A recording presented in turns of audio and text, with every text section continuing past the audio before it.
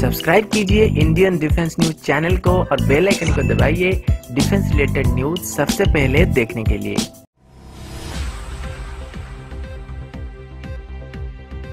नमस्कार दोस्तों, मैं अंश सबका फिर से बहुत बहुत स्वागत करता हूँ डिफेंस टॉक के एक नए एपिसोड जहाँ पर हम आप सबके लिए रोज नए नए डिफेंस अपडेट्स लेके आते हैं। तो चलिए देर ना करते हुए आज की वीडियो शुरू करते हैं। दोस्तों, आज की पहली अपडेट रुस्तम टू ड्रोन को लेके है। काफ़ी सारे डिलेज के बाद एरोनॉटिकल डेवलपमेंट एजेंसी की तरफ़ से अभी रुस्तम टू ड्रोन की डेवलपमेंट को तेज़ी से आगे बढ़ाने का फैसला किया गया है।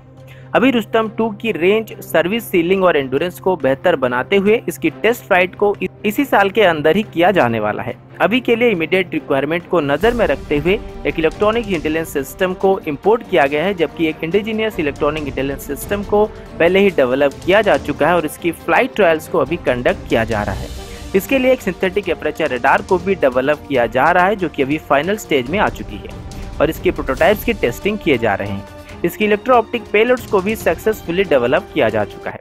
अभी तक इसके कुछ छह एयरफ्रेम और 25 टेस्ट फ्लाइट्स किए गए हैं जिसमें इसे 14,200 फुट की ऊंचाई तक लिया गया था और उस दौरान इसकी एंडोरेंस करीब 85 मिनट तक था और इसका रेंज करीब 40 किलोमीटर तक था। एडी और डीआरडीओ के तरफ़ से ये बताया गया है कि रुस्तम टू हमारे ट्रायल सर्विस की रिक्वायरमेंट को पूरा कर सकता है और 2020 तक इसे यूज़र ट्रायल के लिए तैयार किया जा सकता है। दोस्तों, अगला अपडेट इंडियन नेवी की तरफ़ से है। इंडियन नेवी की प्रोजेक्ट 15 के अंदर बनाई गई डिस्ट्रॉयर में से आई दिल्ली का अभी कुछ मेजर कॉम्बेट सिस्टम को अपग्रेड किया जा रहा है। मैं आपको बता दूँ कि आई दिल्ली को मई 2017 से मिड लाइफ अपग्रेडेशन प्रोग्राम के अंदर मुंबई की नेवल डॉकयार्ड में अपग्रेड किया जा रहा है। और अभी तक इस पर काम किया जा रहा है। अभी इसमें रशियन ओरिजिन सिस्टम को निकालकर उसे इंडिजीनियस सिस्टम से रिप्लेस किया जा रहा है। और सबसे बड़ी बात यह है कि इसमें अभी ब्रह्मोस मिसाइल सिस्टम और एक सीक्रेट सर्वेलेंस रडार सिस्टम को भी लगाया गया है, जिसके बारे में कोई भी स्पेसिफिकेशन पब्लिक नहीं किया गया है।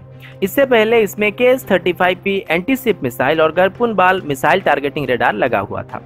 दोस्तों, अगला अपडेट भी इंडियन नेवी की तरफ़ से है। इंडियन नेवी अभी ज़्यादातर यूक्रेनियन इंजिन को अपने शिप्स में लगाना पसंद कर रही है और अभी हमारे नेवी के ज़्यादातर शिप्स में जोरिया की गैस टर्बाइन इंजिन लगे हुए हैं। अभी बी की तरफ़ से जोरिया मास्पोकेट के साथ एक जॉइंट वेंचर एग्रीमेंट को साइन किया गया है, जिसके अंदर जोरिया मास्पोकेट के गैस टर्बाइन इंजिन को इंडिया में ही ओवरऑल फैसिलिटी प्रोवाइड किया जा सकता है। एक सर्वे से पता चला है कि इंडियन नेवी की टोटल 34 वेसल में जोरिया की इंजिन लगे हुए हैं और हर एक वेसल में करीब चार ऐसे इंजिन लगे होते हैं। और हर एक इंजन को तीस हज़ार आवर के बाद सर्विस की ज़रूरत पड़ती है। और इन इंजिन को इंडिया से यूक्रेन भेजकर वहाँ पर इनकी सर्विस करना और वापस उन्हें इंडिया लाकर उन्हें हमारे शिप्स में फिट करना काफ़ी टाइम कंज्यूमिंग प्रोसेस है।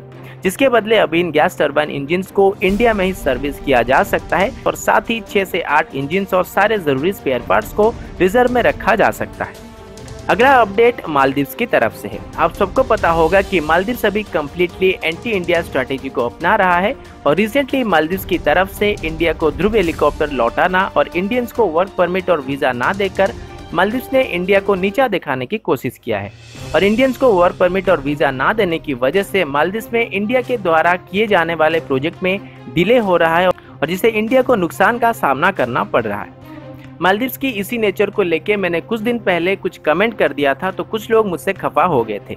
और अभी मालदीव्स की तरफ़ से कुछ चौंका देने वाली खबर आई है, और मालदीव्स अभी पाकिस्तान के साथ एक कैपेसिटी बिल्डिंग वर्क परमिट को साइन करके इंडिया के लिए सिक्योरिटी चैलेंजेस को सामने ला रहा है। लेकिन मालदीव्स को शायद ये पता नहीं है कि पाकिस्तान की खुद की हालत इतनी खराब है कि उसे हार्पिक, फिनाइल और एसिड तीनों मिलकर भी साफ़ नहीं कर पाएँगे। वो पिछले एक सालों से चाइना से करीब चार बिलियन डॉलर तक का लोन ले चुके हैं फिर भी उनकी फॉरेन रिज़र्व घटती ही जा रही है और उनकी इकोनॉमी धीरे धीरे डाउन होती जा रही है।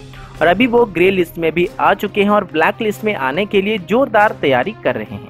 और ऐसे में अगर मलदीव पाकिस्तान से कुछ मदद की उम्मीद रखता है तो उसे बाबा जी के घंटे के अलावा और कुछ हासिल नहीं होने वाला है। लेकिन फिर भी ये दोनों कोपचे में जाके आपस में सुअर सुअर ज़रूर खेल सकते हैं। अगला अपडेट ब्रह्मोस मिसाइल की तरफ़ से है। एल की तरफ़ से आज बदोदरा के पास रुनाली में ब्रह्मोस मिसाइल की ट्रांसपोर्ट लॉन्च कैनिस्टर की एक प्रोडक्शन फैसिलिटी को ओपन किया गया है, जहाँ पर इनकी सीरीज़ प्रोडक्शन शुरू किया जाएगा। ब्रह्मोस एरोस्पेस के एमडी डॉक्टर सुधीर मिश्र के द्वारा इस फैसिलिटी को ओपन किया गया है। ट्रांसपोर्ट लॉन्च कैनिस्टर तीन तरह से काम करते हैं और इनको एक साथ ब्रह्मोस मिसाइल को स्टोर करना ट्रांसपोर्ट करना और लॉन्च करने के लिए भी इस्तेमाल किया जाता है।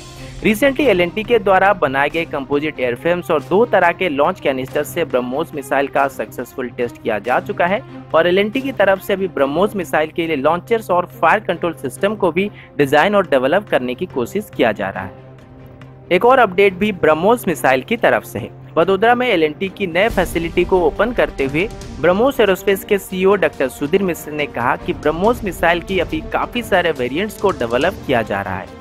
जिनमें से कुछ बहुत ही जल्द रेडी होने वाले हैं। अभी ब्रह्मोस मिसाइल की एक वर्टिकल ट्रेजेटोरी वेरिएंट को लगभग डेवलप कर लिया गया है। जिसे mountain area anti ship role और स्पेशली एंटी एयरक्राफ्ट मिसाइल के तौर पर इस्तेमाल किया जा सकता है। ब्रह्मोस मिसाइल को अभी हर तरह के प्लेटफॉर्म से लॉन्च करने के काबिल बनाया जा रहा है। लेकिन इसकी लाइटर वेरिएंट को लेकर उन्होंने कहा कि अभी के लिए सिर्फ़ ड्राइंग बोर्ड स्टेज में है, जिन्हें हमारे मिग 29 मिराज 2000 और तेजस से भी फायर किया जा सकेगा।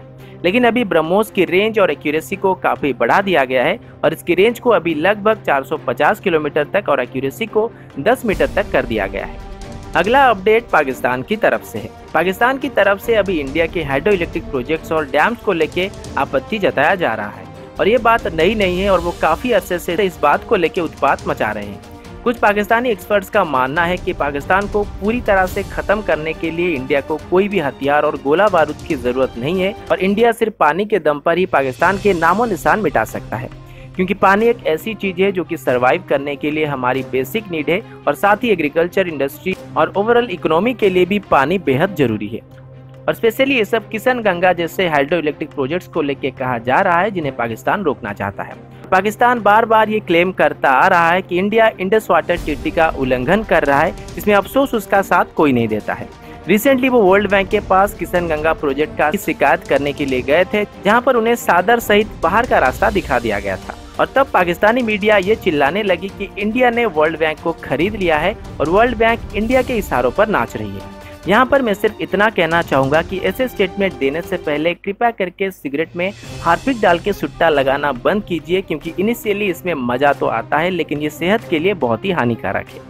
तो दोस्तों, अभी के लिए इतना ही, मिलता हूँ आपसे अगले वीडियो में। अगर आपको वीडियो अच्छा लगा तो इसे लाइक और कमेंट कीजिएगा। और अगर आपने अभी तक हमारे चैनल को सब्सक्राइब नहीं किया तो इसे सब्सक्राइब करने के साथ साथ बेल लाइकन दबाना मत भूलिएगा।